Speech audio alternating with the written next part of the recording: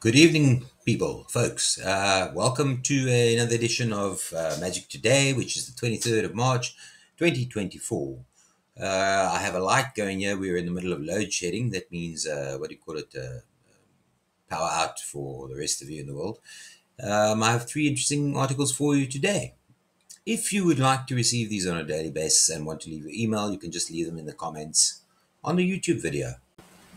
So, what do we have going on today? We have Andy Gross, who is a comedian. I didn't know he was a ventriloquist. He's also a ventriloquist and obviously a magician. And he's had many viral videos of, especially with his body moving and moving his legs and so on and so forth. He is performing in, I think it is Tulsa. Let us have a look. Yep, he is in Tulsa Comedy Club on March the 23rd. So there you go. That's what's happening today. You can see that on Fox News. I will put the links in the bottom as per usual. Lance Burton. Lance Burton is still performing with the show is called Lance Burton uh, and uh, Lance Burton Master Magician and Friends, which is a mix of illusions, sleight of hand, audience participation, and amazing guest stars. He is also, that show is currently running. Um, I know he's been performing for quite a while with that. His next one is at the Riverside Casino and Golf Resort.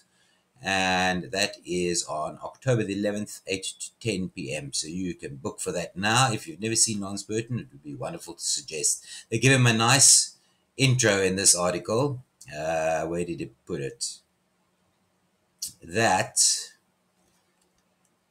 Ah, take every magician in the world, line them up, and give them each 12 minutes. Lance wins. Great thing. Then there is an article available today on Harry Houdini. Uh, we're one day early for the anniversary, but and I've looked through the article. I'm not sure what they mean about escape from the belly of a whale, but he couldn't escape death.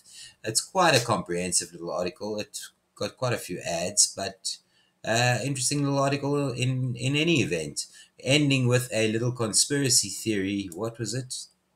Which we get to the end. It is how no no no. It's whether Harry really died or whether he's uh, a, or whether it was a spiritualist pot plot, not pot.